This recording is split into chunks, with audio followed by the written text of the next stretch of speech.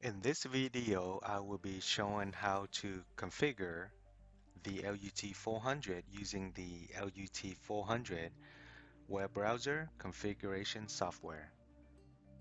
So assuming that you have connected the unit to your PC, go ahead and click Wizards on the left hand side. This will bring up the Wizards uh, screen on the right. Go ahead and press Wizard Quick Start Flow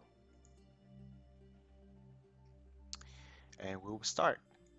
So you don't have to fill out any information here on the tag, long tag, uh, descriptor and message field here, but you do have to set your year, which is, I'm gonna set my year 2020, month would be October, and the day would be the 22nd. And of course, there's different languages that you can select here, but I'll be sticking with English click next.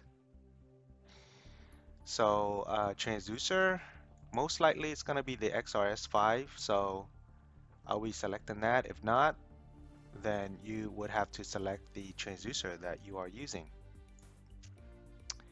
Units, I will be sticking with inches, but you have other options as feet, centimeter, meters, and millimeter.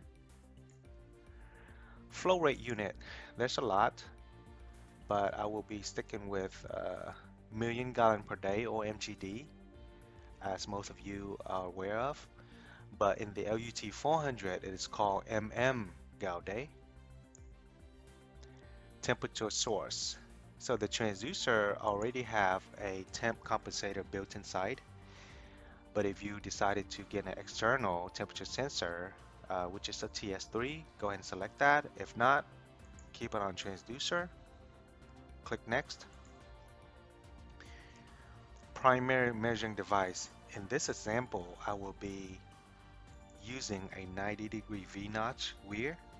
So that falls under exponential devices. So I'll select that. Click next. Method of flow calculation for exponential devices. It's going to be ratio metric. Click next. The flow exponent for a V-notch weir can be obtained in the ISCO Flow Handbook, which is 2.5. So I'll type it in, click next. Um, low calibration point, it is the distance from the transducer to zero flow. So I'll just make up some number for this example. I'll just do 24 inches.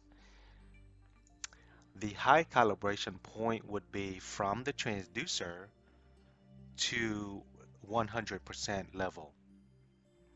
So if your 100% level is 12 inches, then the high calibration would be 12 inches in this example.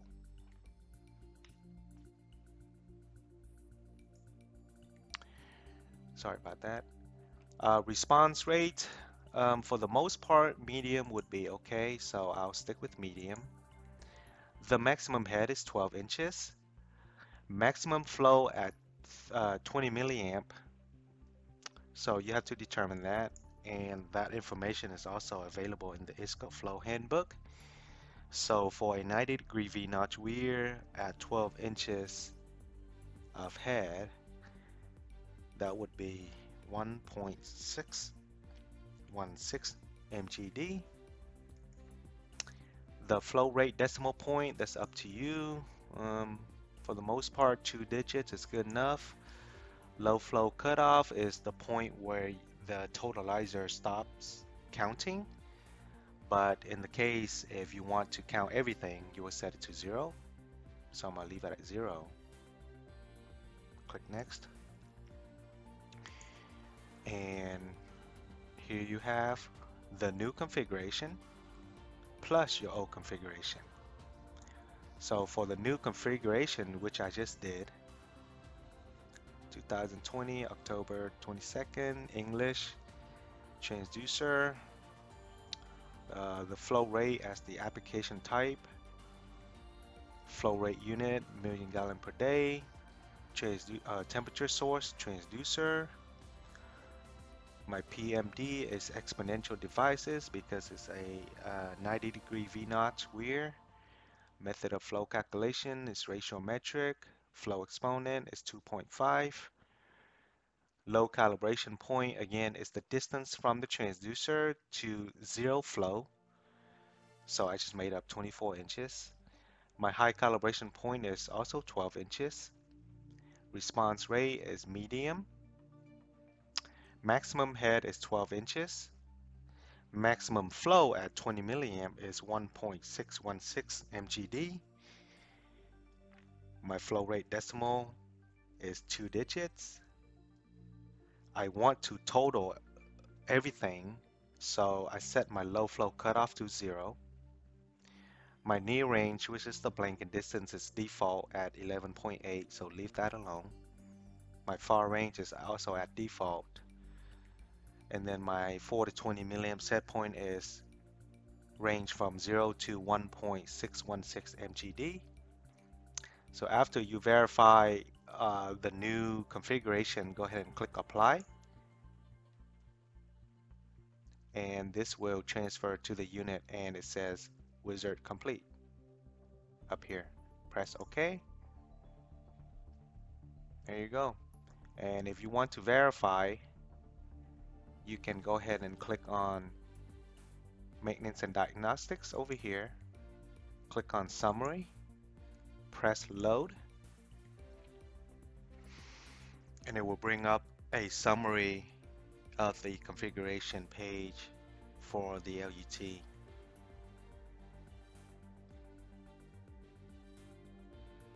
it is.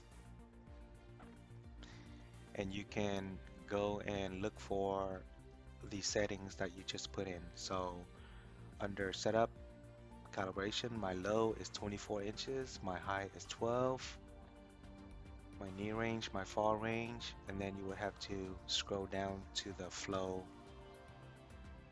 parameter to find the other information. Here it is. So flow primary measuring device exponential devices. Flow rate is mm gal day. Uh, method of flow calculation is ratiometric. Flow exponent is 2.5. Maximum head is 12. Maximum flow at 20 milliamp 1.616. Low flow cutoff is 0. Oh, flow rate uh, decimal digits is 2. And then of course you can just ignore the rest because those are not needed. So this concludes the video of instruction how to program the LUT400 using the wizard quick start flow in the LUT400 web browser configuration software.